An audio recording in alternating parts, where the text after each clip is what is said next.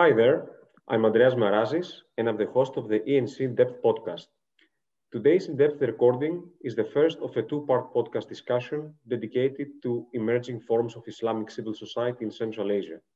The podcast is part of an online regional policy dialogue organized by the Oxus Society for Central Asian Affairs in cooperation with the European Neighbourhood Council, and it was supported by the Hollings Center for International Dialogue. Over the course of three dialogue sessions between February and March 2021, a group of experts, representatives of civil society and government officials discussed the emergence of Islamic civil society in Kyrgyzstan, Kazakhstan, Tajikistan, and Uzbekistan, including Islamic charities, mosques, non-governmental organizations, and social media within the context of different value systems, including state secularism and Western-backed civil society. Now, in this introductory first part, I have the privilege to have virtually with me three distinguished experts and academics.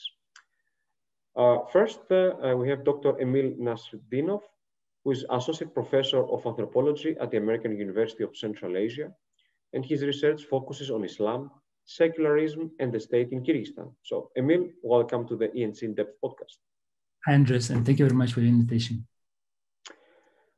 Second one uh, is Dr. Sebastian Peyrouse, who is a research professor at the Central Asia program in the Institute for European, Russian, and Eurasian Studies at George Washington University. His main areas of expertise are political systems in Central Asia, economic and social issues, Islam and religious minorities, and Central Asia's geopolitical positioning towards China, India, and South Asia. Sebastian, welcome to the ENC In Depth podcast. Thank you very much, Andreas, for having me today.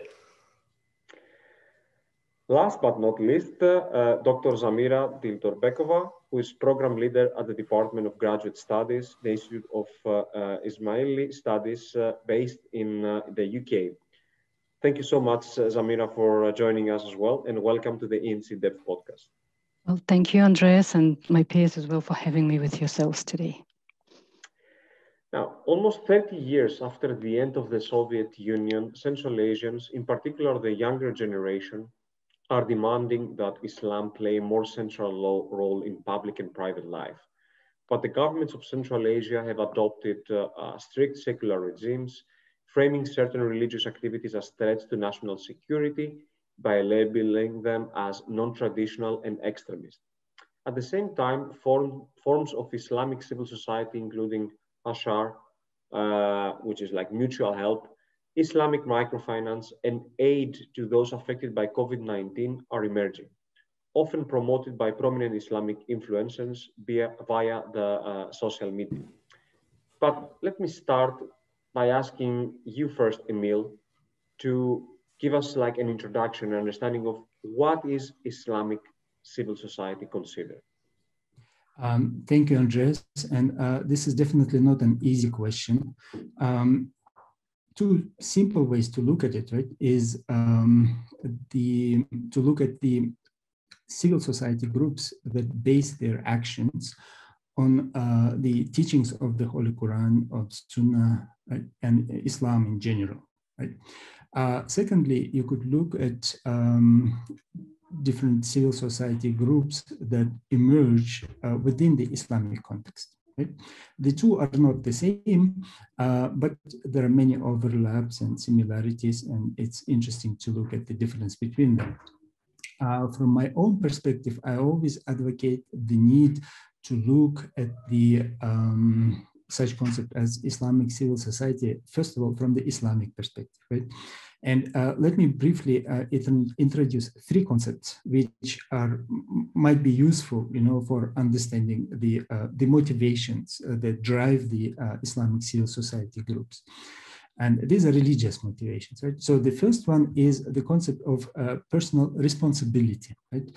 And um, um, there is a hadith um, um by the Prophet Muhammad who said that um, if you see a, a wrong um, action taking place, right, you ought to stop it with your hand. If you can't do it with your hand, you ought to stop it with your word.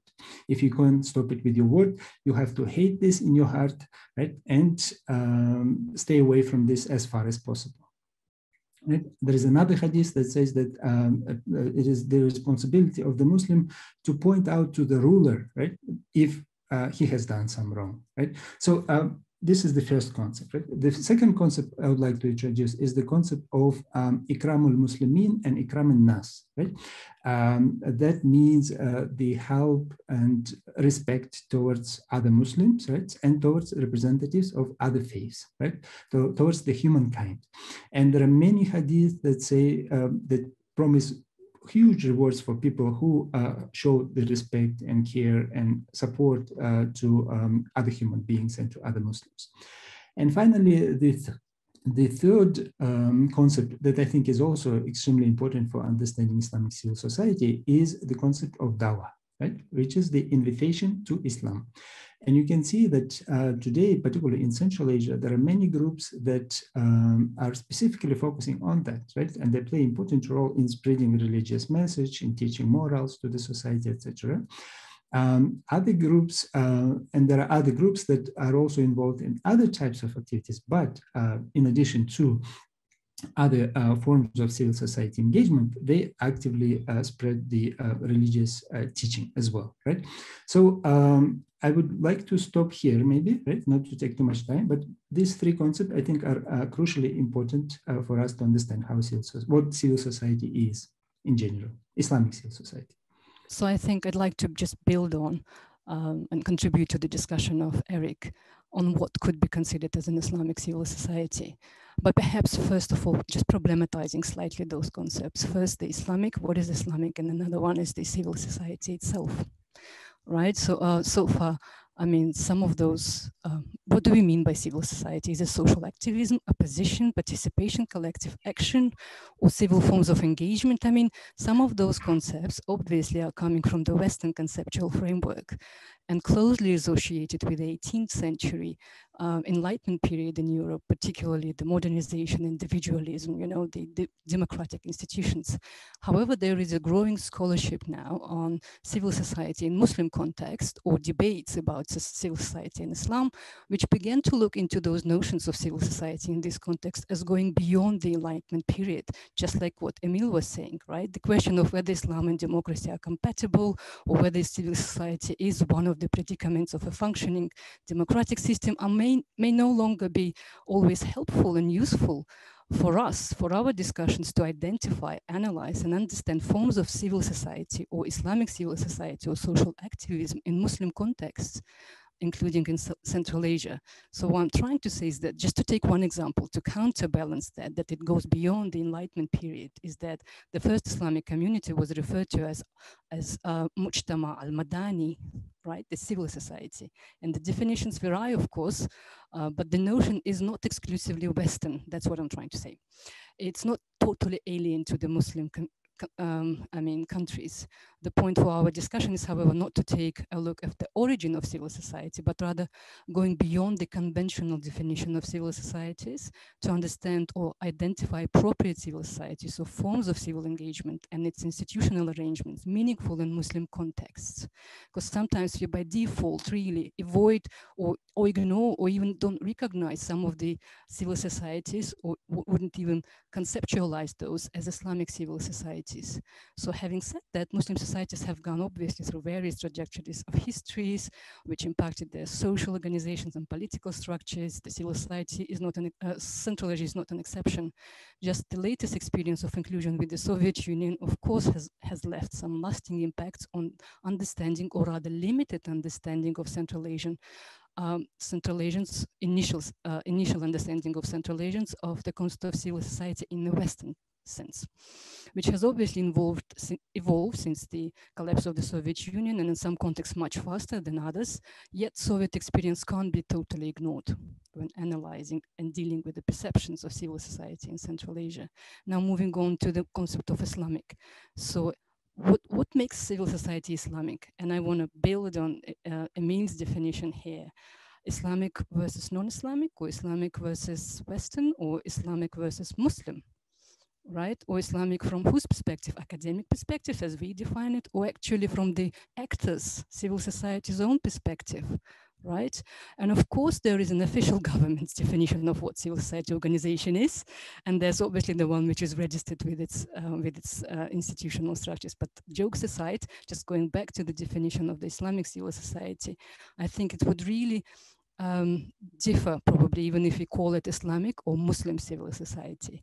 As mentioned by Emil, I mean, um, the Islamic civil society perhaps as an analytical concept may be more appropriate if one would like to analyze the role of religion or Islam and how it plays or is used in framing their agendas, mission or actions and what I mean by that is the Islamic rulings and interpretations, as Emil has mentioned, to Islamic beliefs and traditions that have been a major source of legitimization or used to rationalize or justify their actions, speaking for Islam in some cases, or even have endorsement of a religious leader would be prevalent in Islamic uh, Muslim societies uh, civil societies.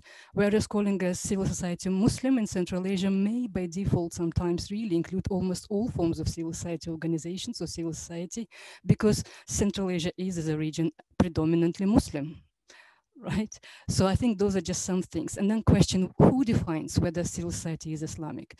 Definition, I think we probably should be mindful in Central Asia that civil society organizations may not call themselves Islamic, or have it as a part of their official agenda, particularly, for example, such as in countries as Tajikistan, you may face a fierce government opposition, or you may be asked to register as a religious organization instead, as opposed to uh, social society or civil society organization. And this in itself is, has, can become a daunting process. So as a researchers, I think we should be very, ourselves, very mindful of using labels such as Islamic, particularly on civil society organizations or civil society that may not be defining themselves as that. Um, so just kind of some of the considerations to add to Emil's uh, discussion. Thank you. Excellent. Uh, thanks a lot, uh, Zamira, for your input. Um, I would like to uh, pass the floor now to Sebastian and uh, um, basically based on the research that you've conducted together with Emil, uh, I would like to ask you to um, give us an understanding of how is Islamic civil society divided? Which forms have you identified in your research? Well, thank you, Andreas, for this uh, question. I mean, I think there are actually many forms of uh, Islamic civil society. Uh, the most well known are probably the Islamic NGOs, which may be the most uh, diverse sector of Muslim civil society in Central Asia, both uh, in terms of status and of activities. I mean, they can be official, they can be semi-official underground, and they may be locally based, national or international, and like uh, secular NGOs also belonging to other uh, religious denominations. Uh, Islamic NGOs engage in multiple sectors and types of activities ranging from charity to, uh, to development. But there are also many uh, other actors of Islamic civil society. For example, each state in Central Asia has a spiritual direction from Muslims, I mean the Muftiyates, and uh, beyond uh, the supervisory function of the muftiyat, they constitute a semi-autonomous structure of representation of uh, Muslim communities, and they are involved in the development of uh, local civil societies. They may, for example, carry out charitable activities by providing funds, clothing, or food to local population, and uh, this can be done regularly on on or on occasions such as uh, religious holidays. Uh, mosques, of course, are places where people pray, but also where uh, people discuss issues facing their communities and they provide a basis for social expression. They participate in organized social activities, often in the name of uh, uh, moral principles, such as, such as the fight against drug and alcohol use, but their social commitment is also reflected through their uh, social activities. Uh, mahallas contribute to uh, by organizing major events in people's lives. For example, Hasha, which is a traditional form of mutual aid based on the principle of Islam, uh, which uh, mandates that one should do good deeds or help also community members and which consist of getting together for work of general interest, such as, let's say, uh, cleaning the neighborhood, repairing roads, building houses, etc. Uh, maybe two more actors very briefly I would like to add here. The first one is uh, Islamic charity foundations whose uh, function is to collect and distribute aid and which have developed in several Central Asian states. And uh, in, uh, in addition to local charity foundations, there are numerous international uh, ones, many of which are based uh, in the Arab world, particularly in Saudi Arabia, in Qatar, in Kuwait. And these foundations also engage in various kinds of social projects, including building schools, hospitals, helping orphanage or poor families. And finally, the Jama'ats, which contribute through their networks to uh, help members obtain a job, develop uh, a business or access public services, and they are seen by the members as providing social assistance. So, and in addition to their uh, religious activities, Jamaat are also engaged in various kinds of uh, charitable and development work. So, I mean, I'm going to stop here. Uh, what I would like to say is that this is, of course, not an exhaustive list of actors. Other actors could be included, but here uh, I think that it's important to insist on the diversity. I mean, the Islamic civil society is much, much more than uh, Muslim NGOs. Thank you, Sebastian. You gave already like an idea of like how it's divided and also a quite a wide range of activities that are involved. I would like to give the floor now to, to Zamira and to ask you actually, how do you, uh, can you tell us how do these Islamic uh, uh, civil society organizations operate? And then also again, give the floor back to you, Sebastian and Emil, maybe to share uh, some thoughts on how uh, not only operate, but also how they are getting funded, these organizations. So first I give the word to you, Zamira, and then maybe you, Sebastian and Emil can talk a little bit about funding, access to funding. Um, yes, thank you, Andreas. I think as, as Sebastian mentioned, there are a number of, I mean, roles the civil societies play, and that's and, and that would lead then to the how they function in, to perform those roles or to show those roles to the society. Um, so I think the, the, number of roles would be really, um, as, as Sebastian mentioned, the social welfare activities, particularly predominantly to fill in the gaps where state institutions are unable to provide those. So they engage in activities such as education, or vocational training, sports, healthcare, human rights, gender issues, financial assistance to the poor, as the charities Sebastian mentioned, environmental awareness, culture promotion, and so forth.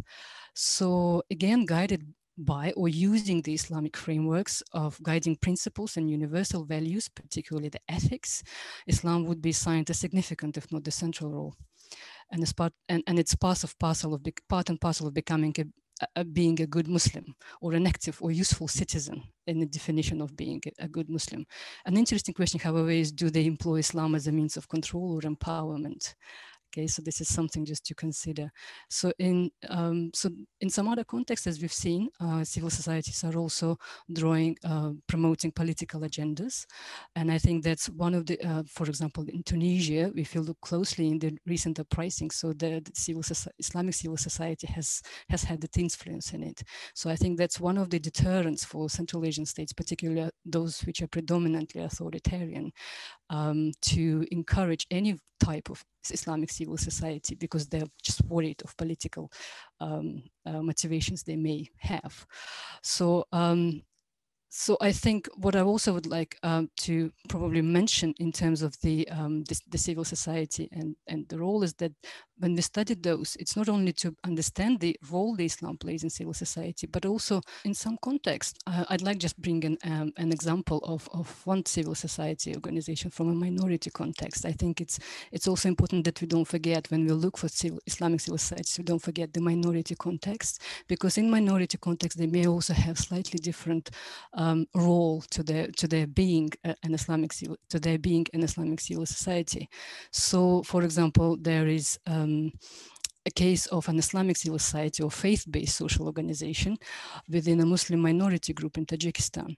So the implications are that it wouldn't call itself an Islamic, given that the implications of a state and the state officially recognizing only one particular madhab or denomination of Islam um, over even the existing or indigenous uh, traditions in Tajikistan. So this particular group would relate their emergence and actions as being informed by the group's interpretations of what being a follower of their faith means to them in today's world. So they would often say, if we call ourselves the followers of Imam, right? So those claims would be based on the interpretations of the guidance they receive from their spiritual leader through Farman, so uh, pr pronouncements. So this understanding among other aspects encapsulates the notions of being a good citizen, of course, and working with the government. So I think it's probably because them being a minority group, they only see a way to promote their well-being and social welfare by working with the government and being registered with the government, right? So um, so understanding of the role of Islam in such civil society really exhibits non, not only the role of Islam in development of civil society, but also the role of their religious identity and faith, how it plays in reshaping their perceptions of civil and indeed national identity. So when we look at civil society, it goes beyond. That's what I'm trying to say. So it really uh, unpacks our understanding of certain other related issues.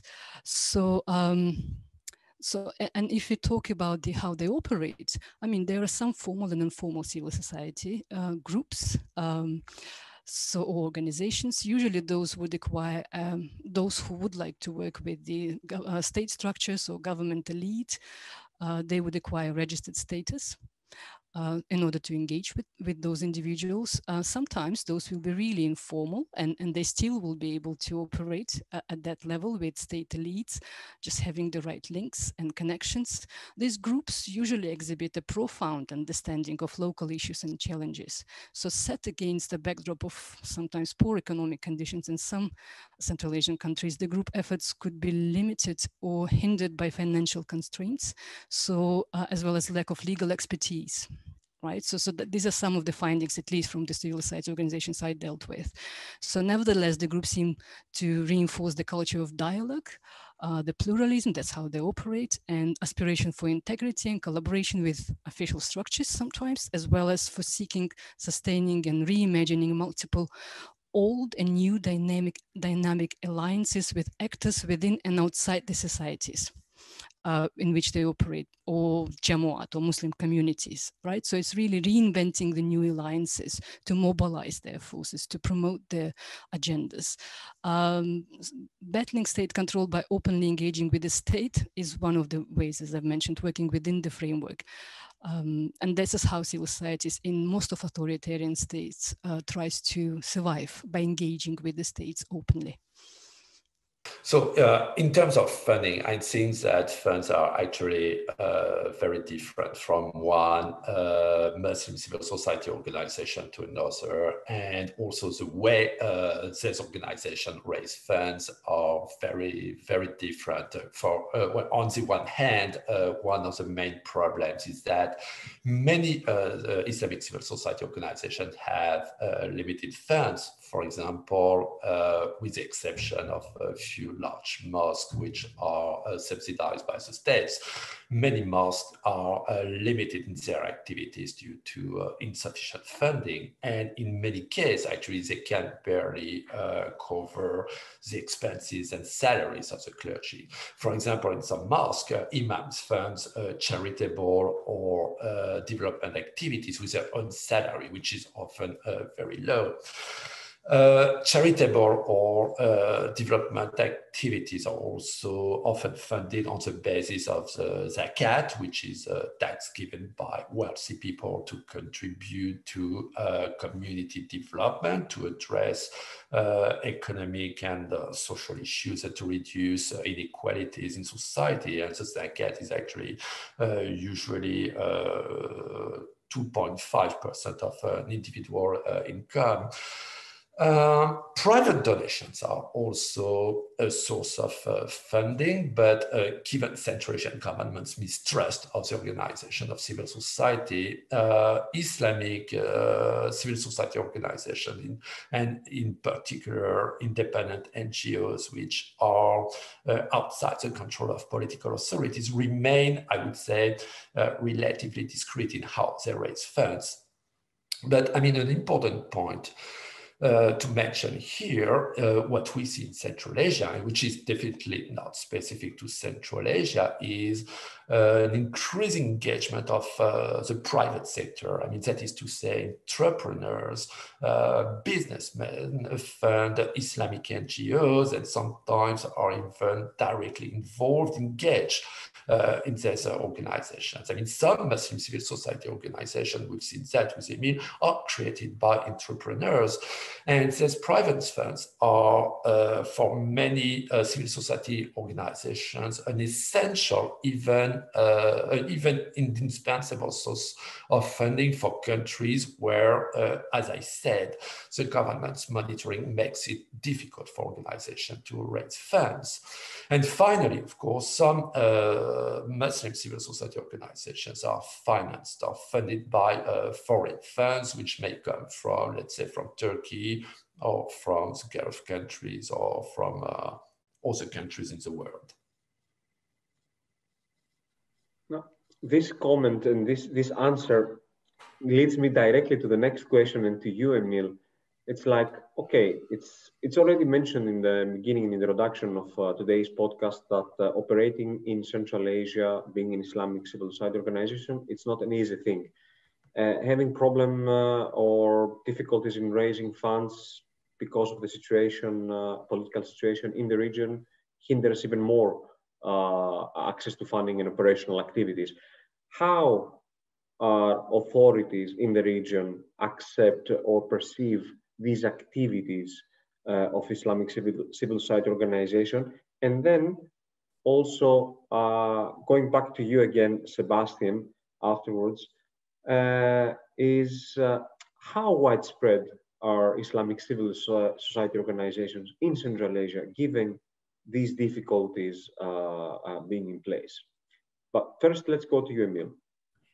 Um, thank you, Andres. Um, it is obvious that um, a lot depends on where you are in Central Asia, right?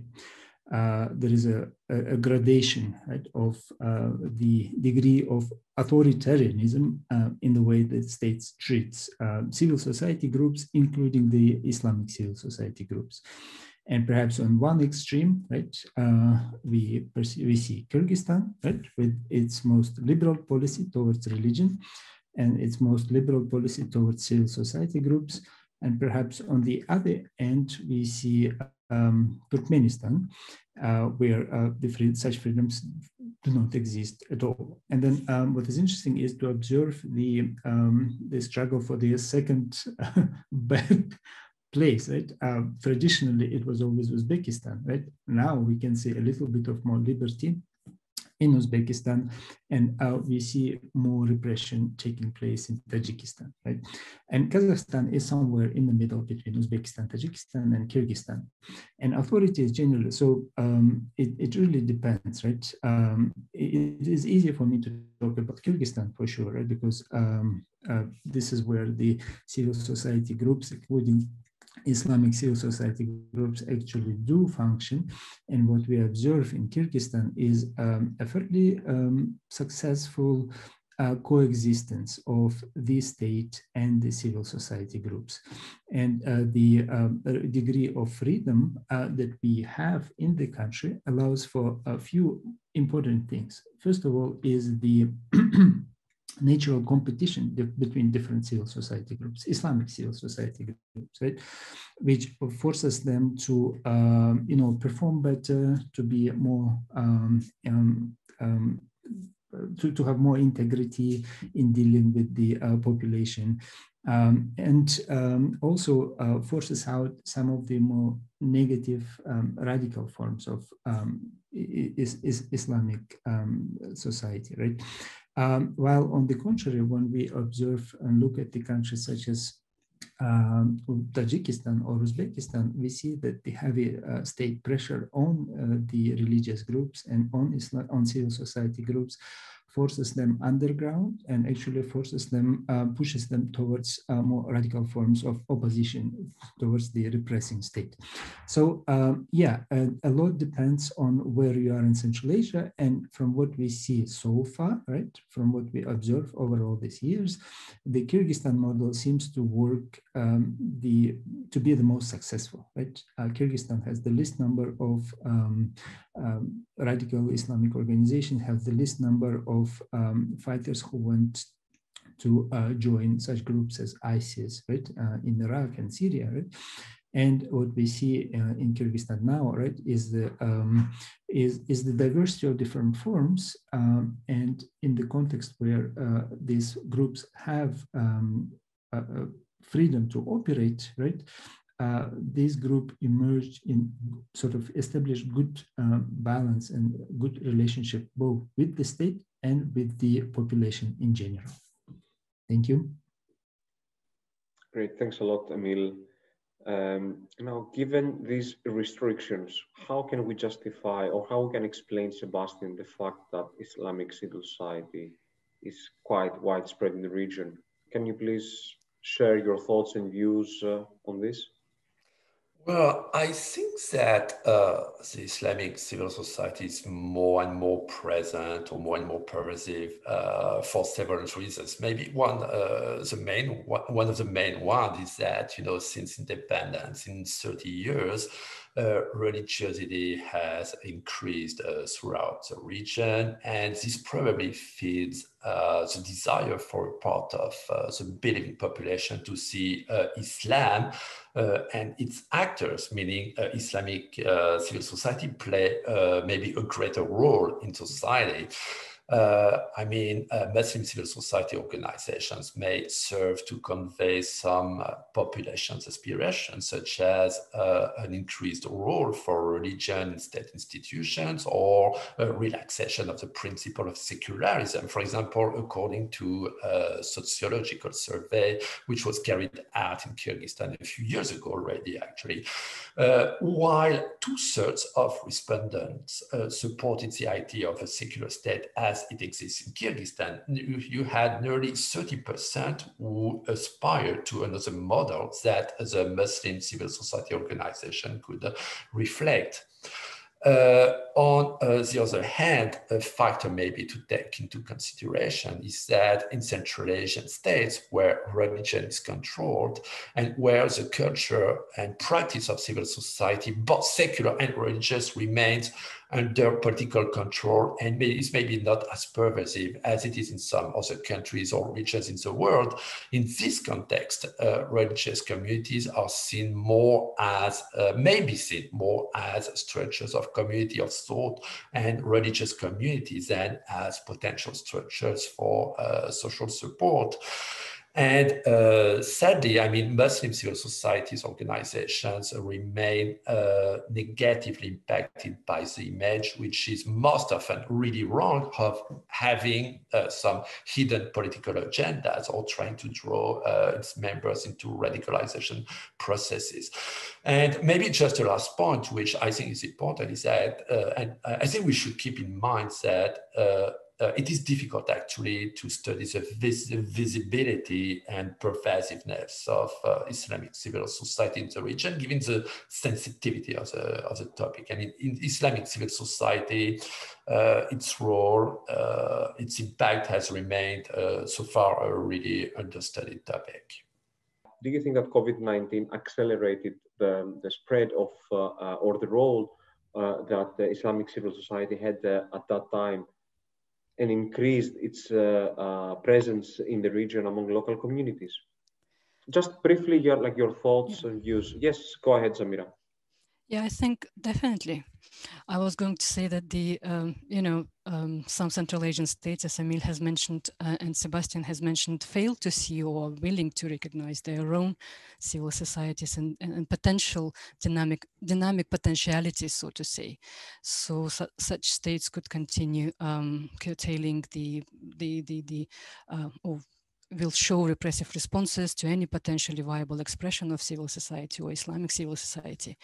Um, so, of course, depending on the forms of civil society, there could be uh, successes, but at the same time, um, the process in some Central Asian societies is quite daunting. What we see, however, or what's promising is the promin prominence and growth of civil society within the virtual domain during the global pandemic period uh, and the use of internet, the social media and online platforms and mobilizing support and even finances, the notions of accountability and transparency came at a very new level at the forefront right? So we see people are using the platforms to gather funds.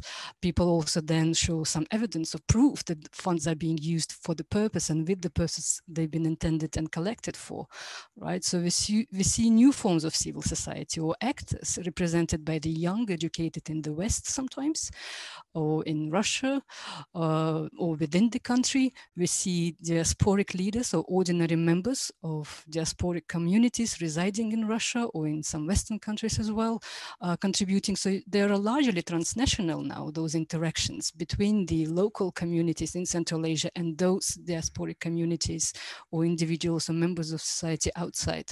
So what is not noticeable sometimes is, however, is that, you know, in the online domain, at least, is the work of the established or more or less traditional civil society actors who usually are more mature in age and hence are not IT savvy or, you know, they don't use internet to promote their agenda. So that's not visible, at least for the outsider.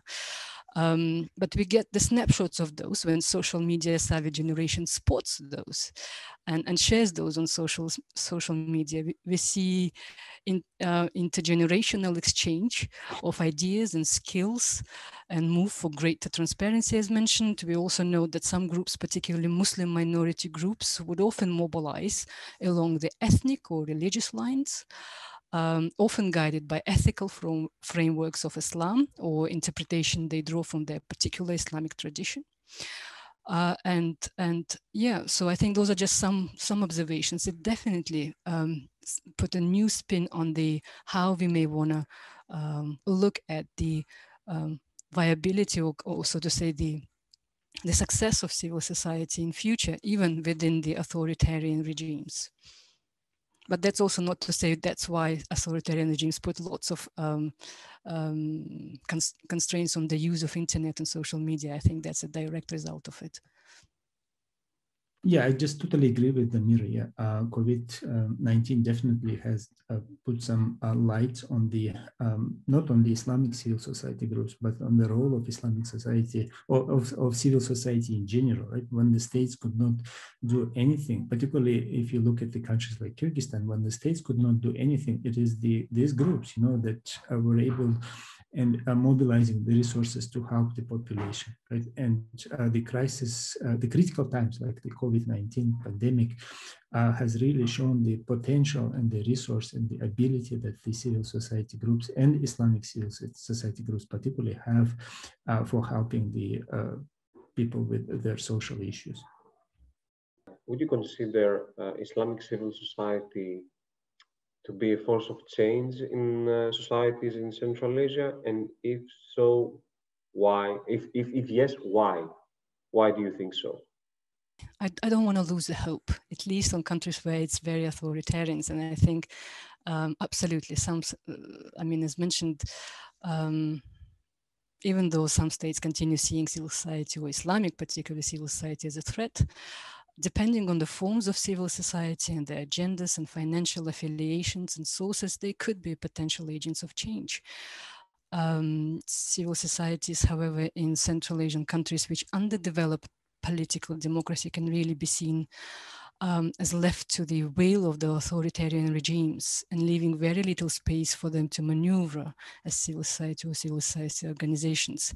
I would, however, agree with um, Masoud Kamali um, um, argue, I mean, his argument that the future development of civil society in Muslim context is really dependent on or highly dependent on the creation of a legitim, legitim, legitimized, legitimized sphere of cooperation, negotiations, alliance building based on social political solidarity between all agents. So I guess it's really um, sometimes not going under the ground, but but trying to find ways of cooperating or dealing or negotiating their space with within the government domain with the government could be one way of doing that. But I understand that governments are not sometimes forthcoming, but it's just a real push for changing the dynamics um, would be really vital for survival of uh, civil society groups and organizations or thriving of those groups um, in authoritarian context.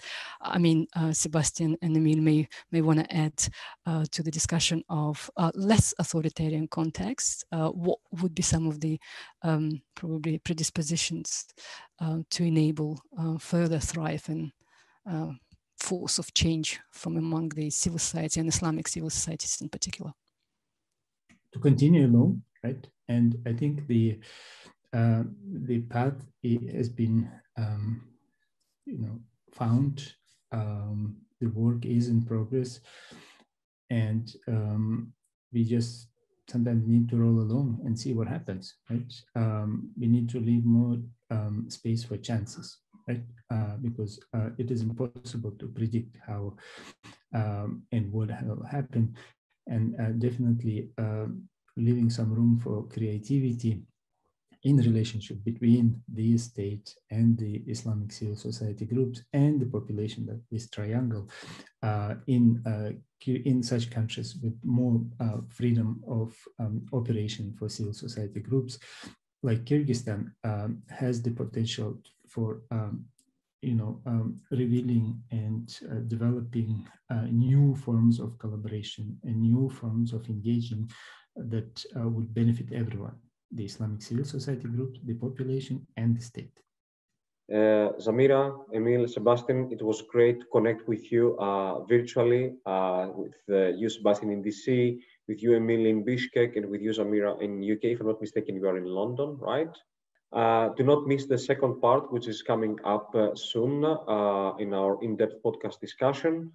I'm Andreas Marazis, and that was the ENC In-Depth podcast.